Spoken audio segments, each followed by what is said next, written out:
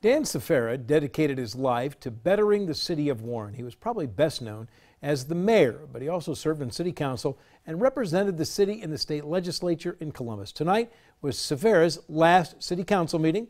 He's retiring. First News reporter Jason Surjak was at that meeting, and this story is new at 11.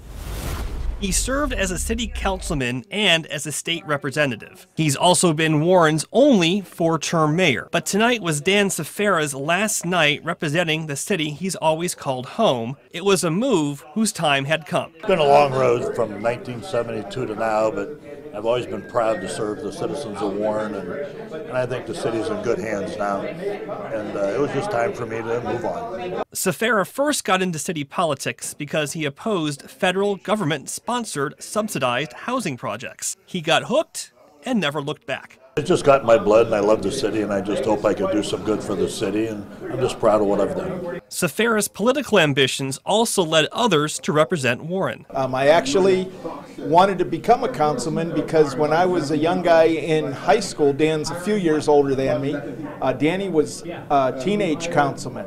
Sferra says his toughest political fight was to build the Trumbull Correctional Institute. Sferra was known for favoring short council meetings. Now he'll keep an eye on things from a distance. Well, I'm not going to miss coming to council meetings as much, but uh, I don't know. I, I'll just follow things in the paper, but I've been through it all, so I'll just keep aware of what's going on. Sferra took part in 16 elections across his political career and only lost twice.